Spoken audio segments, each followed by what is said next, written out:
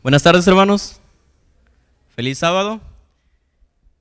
En esta tarde vamos a hablar un tema enfocado sobre la misión y he titulado como tal el tema Preparándome para un futuro incierto. Estudiaremos dos puntos importantes que nos ayudarán a saber, primero, ¿qué debo hacer para ser un misionero? Y segundo, ¿Cómo puedo cumplir la misión de Dios? Qué hermoso sería ver una iglesia llena del Espíritu Santo, ¿no lo creen? En el cual nuestros corazones rebosaran de gratitud y en agradecimiento fuéramos a predicar el Evangelio. Como jóvenes elegimos esta institución porque es una institución educativa adventista. Gracias a Dios por ello. Venimos a estudiar quizás algunos medicina, otros alguna ingeniería, otros odontología, y vamos a ser grandes profesionistas porque estamos preparándonos para esto estamos preparándonos para ser quizás maestros, químicos, psicólogos, pastor o cualquier otra carrera. Pero déjenme decirles que también nos estamos preparando para ser misioneros. Pero, ¿qué es ser misionero? Bueno, se llama misionero del verbo latín misio, que significa enviar a aquella persona cuyo objetivo principal es el anuncio del Evangelio mediante obras y palabras entre aquellos que no creen. Analizando el primer punto, ¿qué debo hacer para ser un misionero? En el tiempo antiguo existían, eh, para llegar a ser rabinos se tenía que pasar por tres etapas. Eh, la primera se le llamaba por el Beit Sefer. Esta etapa era de jóvenes que tenían aproximadamente seis años de edad.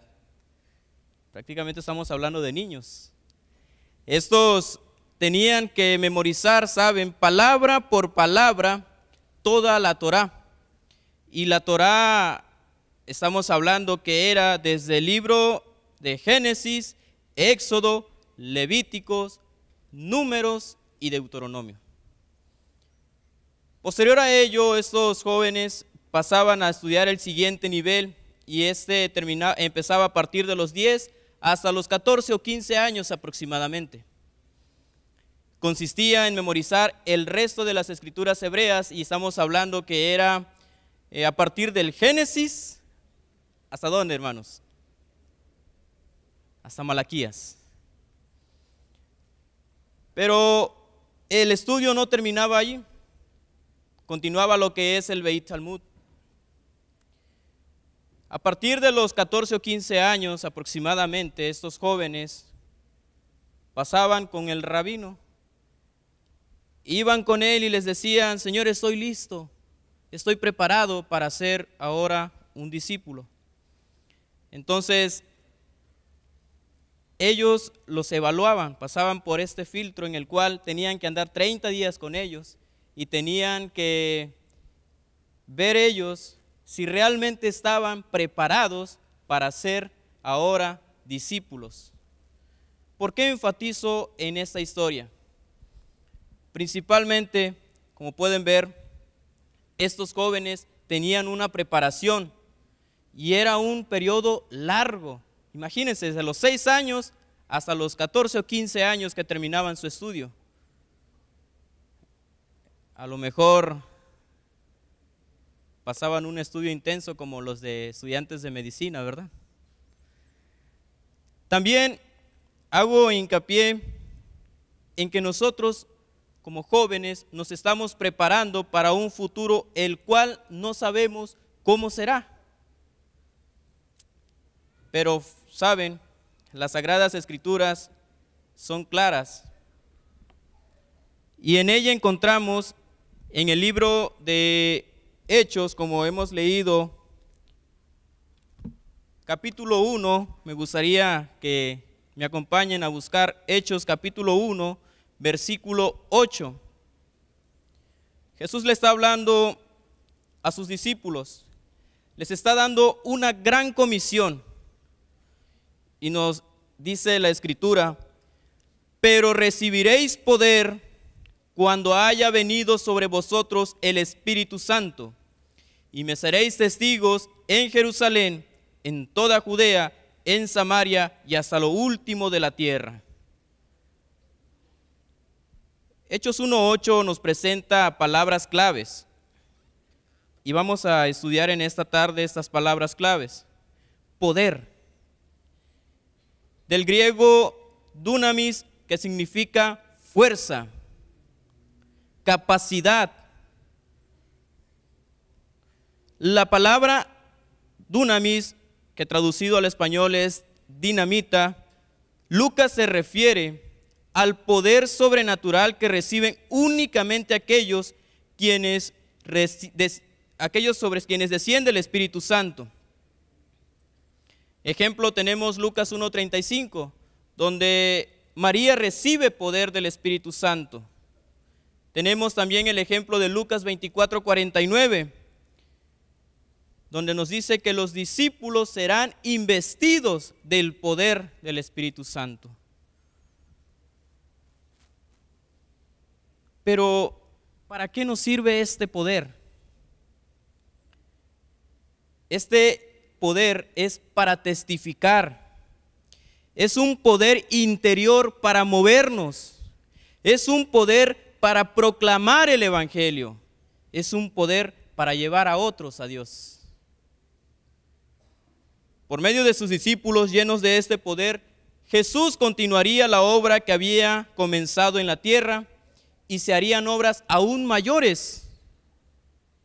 Y eso nos los declara Juan capítulo 14, versículo 12. Saben, nosotros como jóvenes nos estamos preparando. Y entonces la Biblia nos dice y nos declara que nosotros recibiremos poder para proclamar el Evangelio, para anunciar a otros que aún no conocen de Dios. Y la Biblia es clara y la Biblia nos presenta cómo Dios nos va a ayudar. Hoy en día quizás estemos estudiando una carrera la cual nos está preparando para el futuro. Y yo no sé si a alguno de ustedes les ha pasado, pero en lo personal a mí sí.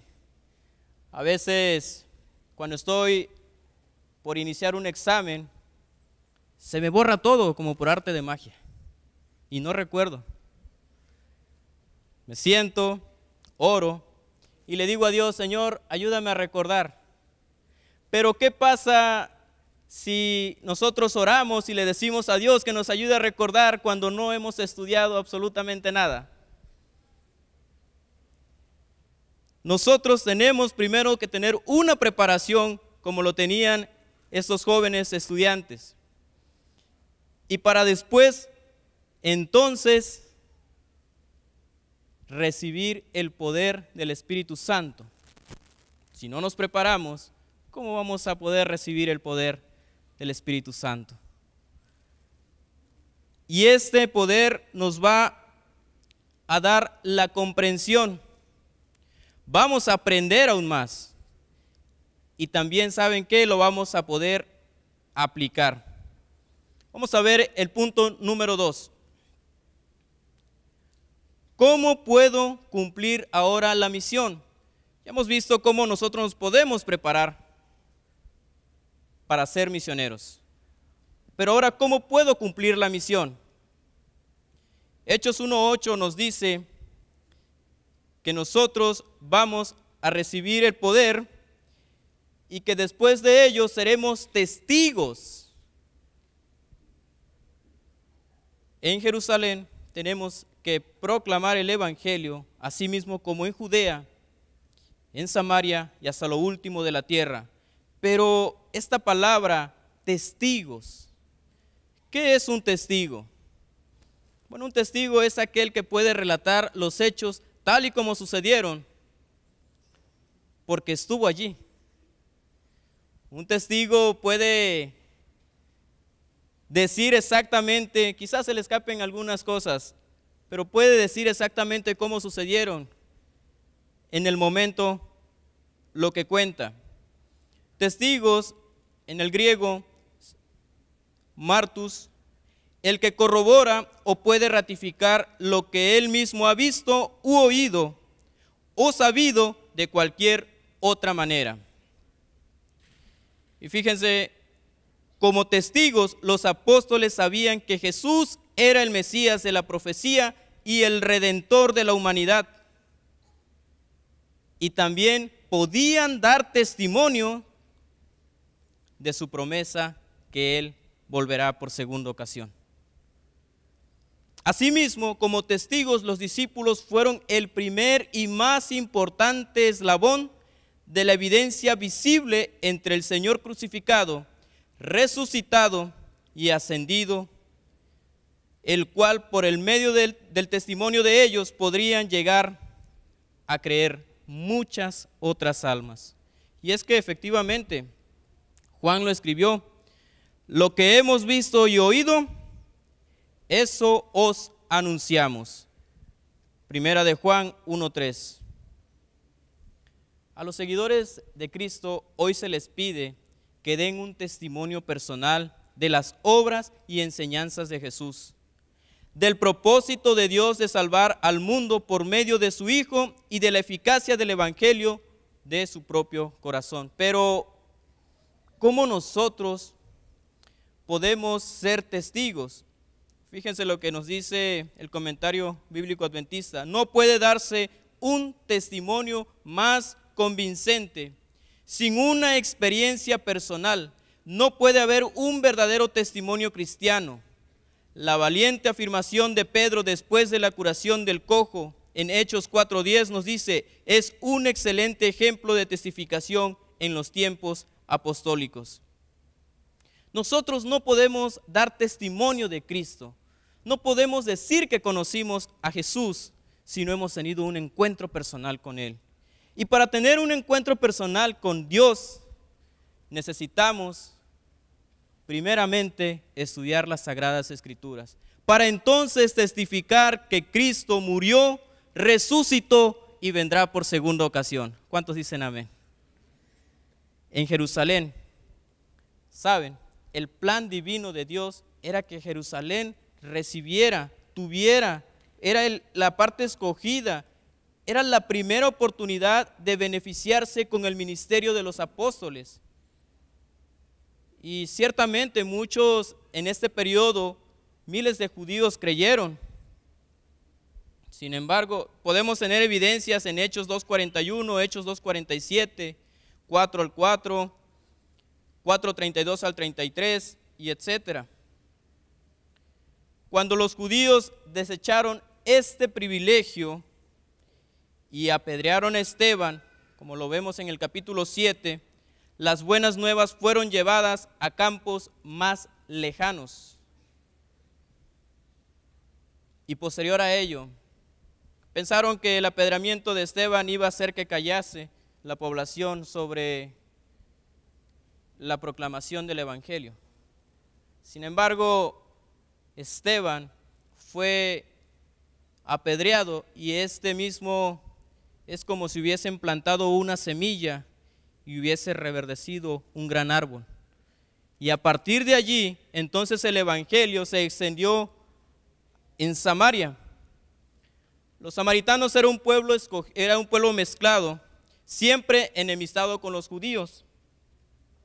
Después del apedramiento de Esteban, recibieron en primer lugar la visita del diácono Felipe, quien después llegó Pedro y Juan para ayudarlo. Y saben, hubo una buena cosecha en Samaria. Lo último de la tierra. Los discípulos debían ir por todo el mundo, a todas las naciones, declara Hechos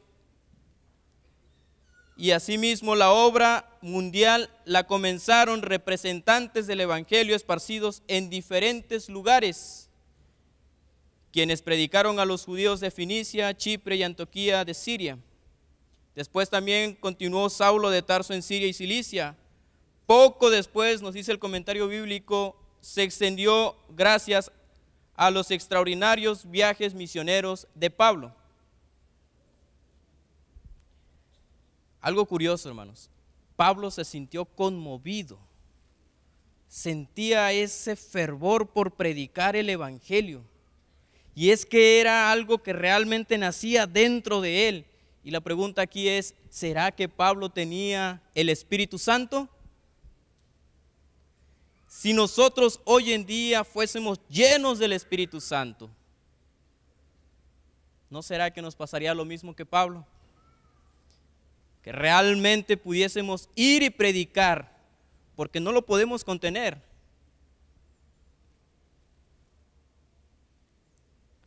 Esta obra no debía ser nacional, sino universal. ¿Y saben cómo podemos aplicarlo con respecto a la zona geográfica? Jerusalén era la zona local. Judea estaba un poco más alejado, pero hoy en día, ¿dónde podríamos aplicar nosotros como jóvenes universitarios a Jerusalén? Puede ser quizás nuestra colonia, pero dices, no estoy en mi colonia, estoy en la universidad. Pues quizás un misionero no precisamente necesita ser aquel que vaya a otros países y proclame el Evangelio, sino de igual manera un misionero puede estar dentro de nuestra habitación en los dormitorios. Allí mismo podemos ser misioneros. Hay tantos jóvenes que quizás dentro de nuestra propia comunidad aún no han sido bautizados y allí mismo podemos ser ejemplos. Así también nos dice que en Judea, ¿dónde podríamos aplicar Judea? Bueno, quizás en toda la institución universitaria o si lo quieren hacer aún más pequeño, quizás en todo el dormitorio. También nos dice en Samaria, Samaria estaba un poco más retirado.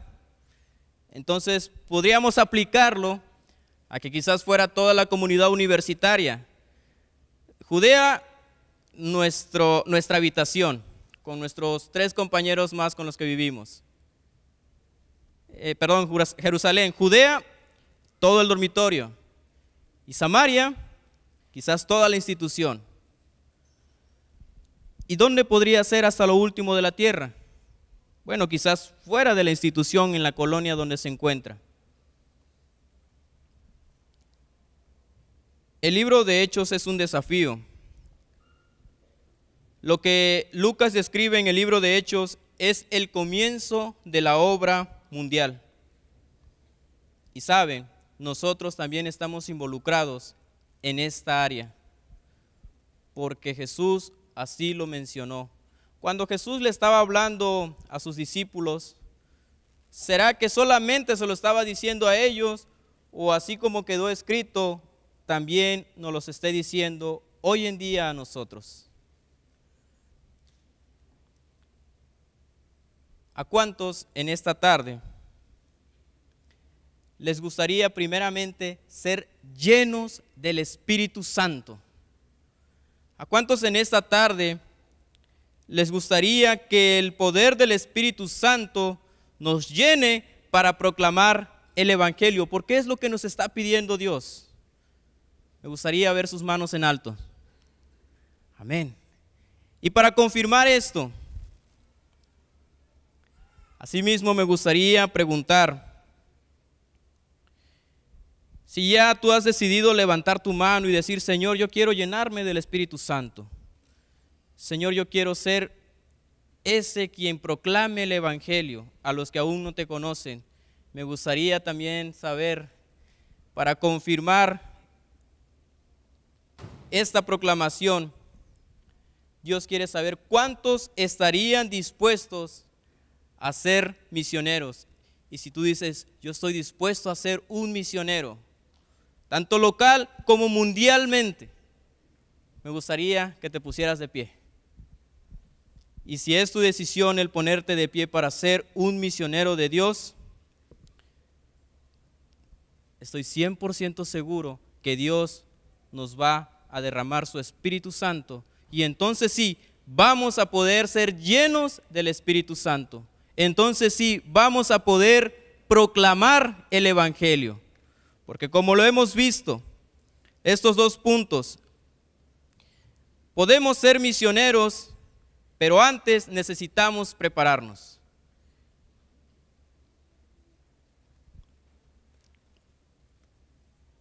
Que el Señor nos pueda bendecir. Vamos a terminar con una oración. Inclinemos el rostro para orar. Padre bendito, muchas gracias te damos por la oportunidad que nos das de poder ser tus hijos, de poder predicar el Evangelio y de poder, Señor, estar en un lugar como este, en el cual podemos ir al mundo, ir a predicar a aquellos que aún no te conocen, en el cual, Señor, podemos testificar que un día tú llegaste a esta tierra, muriste por nosotros, ascendiste, Señor, pero que asimismo regresarás por segunda ocasión. Pedimos de manera muy especial que derrame sobre nuestras vidas el Espíritu Santo, Señor. Que éste nos llene, que éste nos inunde y que como Pablo, Padre, podamos predicar a otros. Tengamos la necesidad, Señor. Y en agradecimiento al sacrificio que hiciste en esta tierra, nosotros podamos llevar el Evangelio para aquellos que aún no te conocen. Muchas gracias, Señor, porque nos permites estar en este lugar. Muchas gracias porque eres bueno con nosotros. Acompáñanos en esta tarde. Lo pedimos y lo agradecemos todo en el dulce nombre de nuestro Señor Cristo Jesús. Amén.